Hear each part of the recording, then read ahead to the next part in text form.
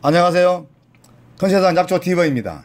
오늘은 요즘 아마 여러분들 이렇게 산 초입이나 도로 주변 절개지 이런 곳에 가보시면은 쌀이 비슷하면서 꽃이 약간 분홍빛이 좀 자잘한 것들이 많이 피는 이러한 식물을 여러분들이 아마 많이 보실 겁니다.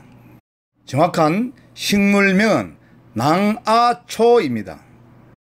낭아초란 이리랑 어금니 아 풀초자 즉 이리의 어금니 같다 라는 이러한 뜻이기도 하죠.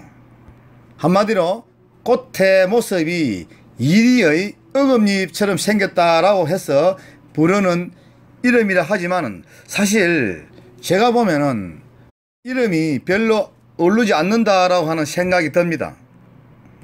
뭐 이만큼 이쁜데 그 이리 이빨하고 뭐 상관 있겠어요? 제가 보기에는 엄청 이쁜데 요즘 이 낭하초 나가보시면은 꽃이 7월부터 9월 사이에 자잘한 이쁜 분홍색의 꽃이 많이 피어 있습니다. 잘 모르시는 분들은 이 나무를 그냥 쌀이 나무인 줄 알고 있죠. 또한 어떤 분들은 이 낭하초를 일본 쌀이라고 부르는 분도 사실 있습니다. 다 자라면은 높이는 약 1 내지 한 2m 정도 됩니다. 낭하초란 사실 가늘고 키가 작다고 풀초차를 붙여 놓았지만은 사실은 풀이 아니고 아간목으로 부르며 작은 나무입니다. 즉 쌀이 나무처럼 아주 작은 그런 나무죠. 가을에 나가보시면 이 낭하초 씨앗이 조랑조랑 열려있는 모습이 작은 콩하고 마찬가지죠. 즉 콩가의 식물입니다. 그러나 이렇게 아름답고 앙정스러운 꽃을 피우는 이 낭하초가 아주 귀한 약용 식물로 곽강받는다는 사실 알고 계시나요?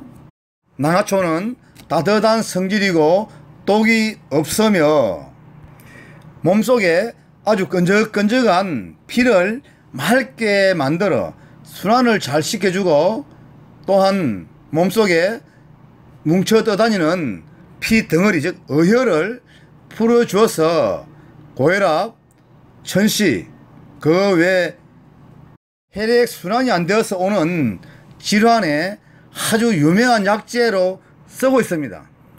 또한 이 낭하초는 소변을 잘 못 보는 정세, 요도염, 방광염, 신장염 이러한 곳에도 잘 듣습니다. 그리고 인체에 쌓인 독소를 배출하는 즉 해독 작용이 뛰어나서 기침, 천식, 벤도선염 또한 평소에 목이 약해서 조금만 찬바람이 불어도 감기가 잘 걸리고 하는 이러한 분도 이 낭하초를 잘게 잘라 평소에 꾸준하게 차로 복용해 보십시오. 아마 올겨울에 어쩌면은 감기 안 걸리고 즉 독감 안 걸리고 넘어갈지도 모릅니다.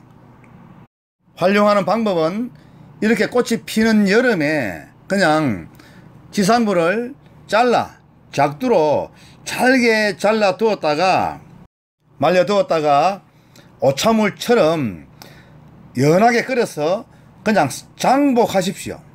신장 기능을 좋게 하고 피를 맑게 만들어주며 뼈를 튼튼하게 해주는 생활 속의 나무 우리 주변에 어디를 가도 마음대로 만날 수 있는 이러한 나무가 바로 최고의 약재입니다.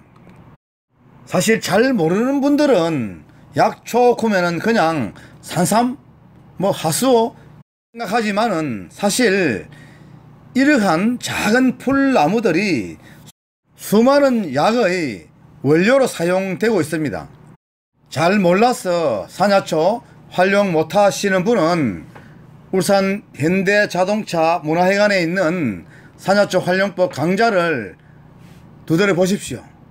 또한 멀어서 못하시는 분은 자택 강좌 즉 재택 강좌를 신청하시면은 멀어도 아주 쉽게 배울 수 있는 방법이 있습니다. 여러분들 적극적인 참여를 기다리겠습니다. 저는 한국전통약초연구소 교수입니다.